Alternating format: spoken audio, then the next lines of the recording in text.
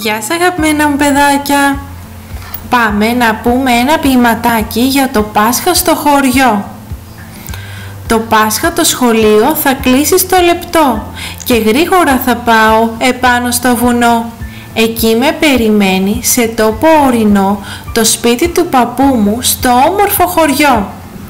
Ένα Πάσχα στο χωριό είναι Πάσχα μαγικό. Ένα Πάσχα στο χωριό είναι απλά μοναδικό. Μεγάλη Τρίτη θα έρθει η γιαγιά και θα μας πει «Ζυμώνουμε τσουρέκια, ζυγώνει η γιορτή». Μεγάλη Πέμπτη θα έρθει η γιαγιά και θα μας πει «Το κόκκινο αυγουλάκι απόψε θα βαφτεί».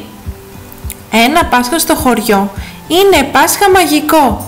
Ένα Πάσχα στο χωριό είναι διαφορετικό.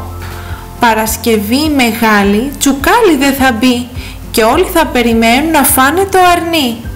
Το Σάββατο προσμένω και λίγο δεσποινό και σαν θα ξημερώσει το ρίχνω στο χορό. Ένα Πάσχα στο χωριό.